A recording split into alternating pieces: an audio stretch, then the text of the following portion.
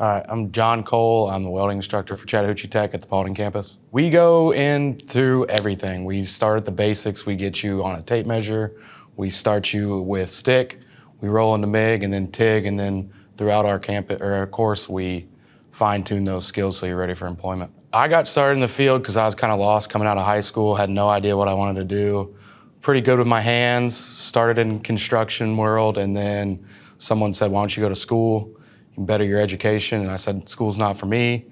Showed up at Chattahoochee Tech one day, took a tour of the welding campus up at Jasper and fell in love. I got into education. I kind of got worked into the whole corporate America, found out it wasn't for me, and then figured if I've learned these trades from somebody, I can pass that knowledge on to somebody else. I love it when a student finally get it clicks with their head. Like everything with us is very hands-on. It's very hard work.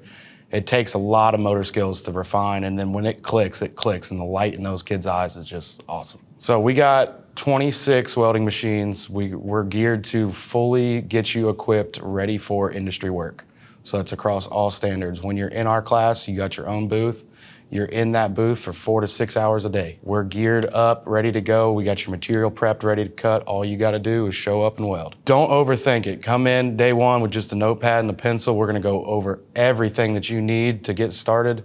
You're not alone. Everyone's starting out at the beginning. Any question you guys got before day one, just shoot me email. I'm really good at responding within 12 to 24 hours. Thanks for watching. See you on the first day.